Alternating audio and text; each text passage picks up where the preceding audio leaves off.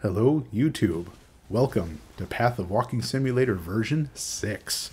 This will be a quick overview and showcase. I will have a Path of Building file with my current build in the description, and there will be a full build guide coming later, uh, hopefully in the next two or three days. So if there's anything that you don't understand or would like explained in greater detail, uh, please drop a comment. I'll make sure to get it added as best I can in that full build guide. Uh, but a quick overview, this is a Herald of Thunder build. Uh, we are scaling the damage of the actual lightning bolt from Herald of Thunder. Uh, it is very, very good for single target. Of all my other Path of Walking Simulator builds, this is the best single target one of them all, and you could reasonably boss with this build. Uh, Herald of Thunder by itself is not great at clearing, uh, but we are using Inpulsa's chest to uh, get some explosions, which turns this into a very smooth mapper as well. So you end up with a really great balance of single target and mapping. Um, so it works by just using the Storm Secret Rings, we can uh, use that to shock to trigger Herald of Thunder, then use the self damage to drive cast when damage taken loops to get more spells out there to shock more to keep the whole process running. Uh, so the the damage is will self sustain. Um, it's actually very very easy to play. I like all my other walking sims. And let's get into the gear that you're going to need and kind of what you can expect to pay for it, uh, pending that I don't accidentally drive up the prices of any of these items too far with this video. First, we are going with the Annihilating Light Staff. This is a new uh, item added this league. The triple damage on the staff is awesome for Herald of Thunder. Uh, the 60% reduced resistances is not. And I do say 60 because you want to get one that has a 60% roll. Every 1% above 60 is another 5 or 6 all resistance that you need to offset that penalty. So it's well worth it to spend the money to get a 60% one. Uh, you're looking at about 50 chaos to get one of those. Uh, we've been also using the new amulet from this league, the Crystallized Omniscience, uh, which gives us a new stat called Omniscience, which gives us an absolute buttload of penetration and a lot of resistance to help us offset what we lose from the staff. Uh, it's about 20C for an uncorrupted one. Uh, you can get a corrupted one. The rolls really kind of are irrelevant on it. You definitely want to get one with 16 all uh, attributes just to help. Uh, but as I said before, we're also using a Storm Secret. We're using two Storm Secrets. Uh, not only for the self damage, not only for the triggering of Herald of Thunder on shock instead of on kill, uh, but also because it greatly increases the frequency that Herald of Thunder hits, which is basically like cast speed for Herald of Thunder. Uh, you definitely want to splurge and get ones that are at least 40% increased frequency. It's about 10C each for those, so about 20 chaos for a pair. Also, as said before, we are using an Inpulsa. Uh, I would say you can get a 5 or 6 link on the staff, but it's more important that you get the 60% roll on the staff. So I would recommend going for a 5 or 6 link on the Inpulsa instead for your Herald of Thunder links. You're looking at about 40 chaos for a 5 link, and I think it's like 2.5 or 3x for a 6 link. Uh, we have been also using a Black Sun Crest for our helm. Um, this is about the cheapest chaos you can spend on this build to get a lot of omniscience.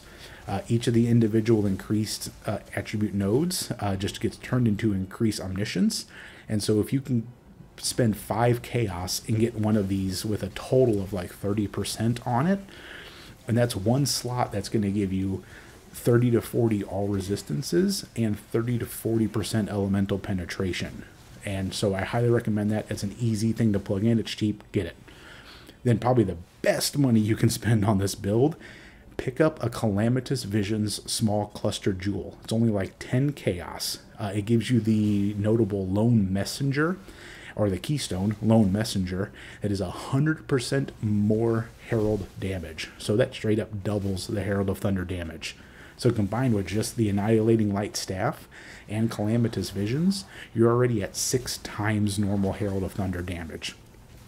This will leave your gloves, your boots, your belt. Those are just going to be rares. Uh, you want to uh, prioritize getting life.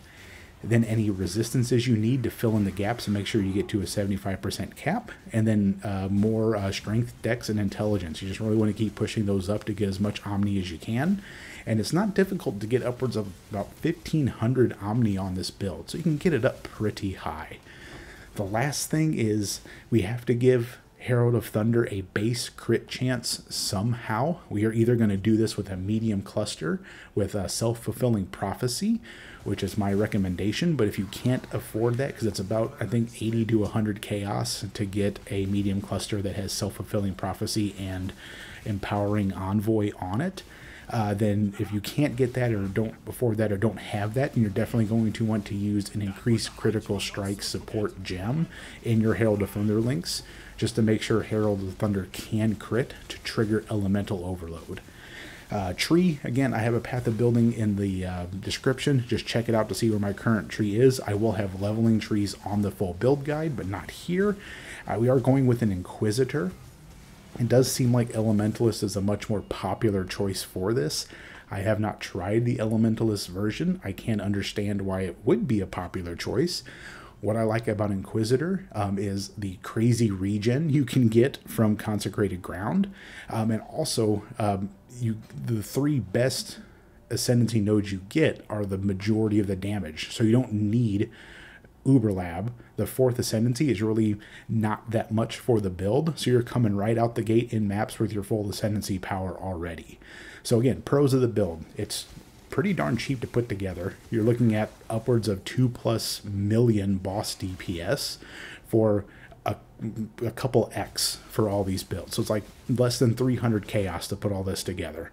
Um, it's incredibly easy to build because it's just a bunch of unique items. You can self make or just spend 10C to buy the other rare stuff, and it's incredibly easy to play. Uh, the two cons is that because we are using Herald of Thunder and putting a bunch of supports on it, it is taking up a lot of our mana so we're not able to use the defensive auras. Determination and Grace are really in a great spot right now. We're not able to use them, and it's weak versus multiple bosses. Because Herald of Thunder can only hit one target at a time, if you're fighting a map that has two or three bosses, the damage gets spread out between them, which is just going to make that fight take longer. Uh, you can kite individual bosses in that scenario, uh, but it does start to feel a little weird in that circumstance. Uh, but again, hope you guys enjoy this build as well as you have the last ones. Uh, stick around, the full build guide will be coming later, and I will see you all on the flip side.